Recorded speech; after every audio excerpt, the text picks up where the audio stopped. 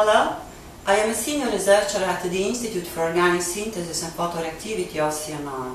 CNR is the National Research Council, the main public research institution in Italy. Here we are in Bologna, a nice city in the north of Italy, famous for its university, the oldest in Europe. The aim of the research activity of my group is to give a contribution to the development of innovative photovoltaic technology, organic solar cells, that is, solar cells uh, made of organic conjugated materials, abundant and non-toxic. This photovoltaic technology presents relevant advantages over traditional ones. This kind of solar modules can be produced thin, lightweight and flexible. They can be printed from solution through simple and low energy intensive processes such as roll-to-roll printing techniques. This means that the cost of this kind of modules can be drastically reduced compared to traditional photovoltaic technologies. These plastic modules have been fabricated by Eni company with the support of VTT, the Technical Research Center of Finland. Eni is the main Italian-based energy company and this is not only oil and gas, but also renewable energies. Research and development activities of organic solar cell are carried out by Eni at Istituto Eni Donegani, one of its research centers. This technology is well adaptable to consumer electronics.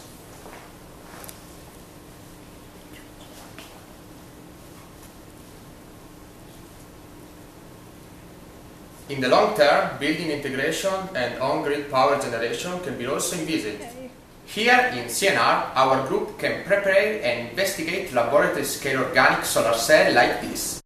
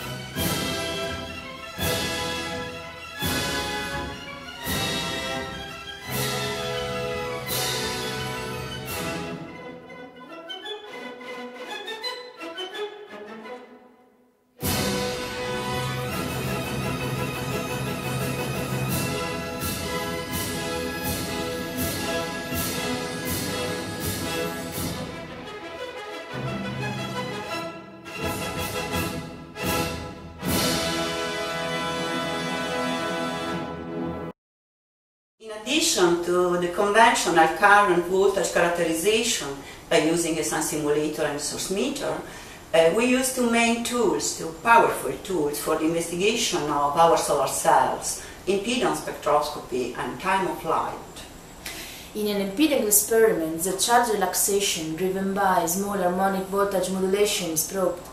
The amplitude and the phase difference of the corresponding alternating current are monitored as a function of frequency.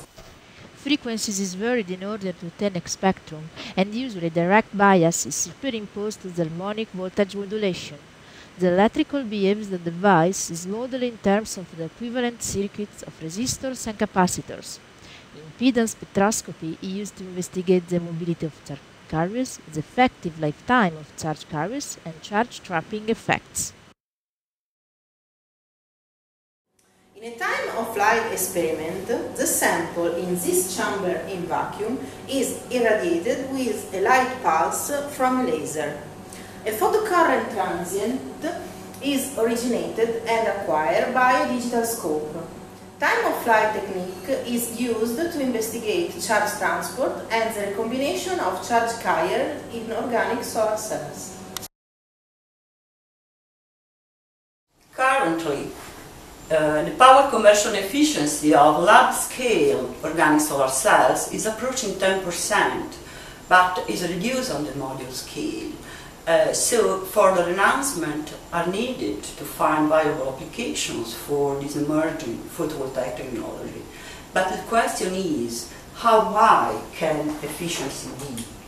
One of the main features of organic materials when compared to inorganics is the strong Coulomb interaction between charge carriers of opposite sign, which strongly affects the behavior of organic solar cells.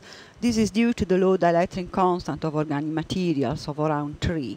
If the dielectric constant is increased, the interaction between positive and negative carriers is reduced and higher efficiency for organic solar cells can be predicted. If organic materials with the dielectric constant as high as in organic semiconductors are developed, close to 12 in case of silicon, solar cells with an efficiency exceeding 20% are possible, but maintaining the typical advantages of organic materials, lightweight, flexibility, and low-cost processing with printing techniques. This is the topic of our perspective.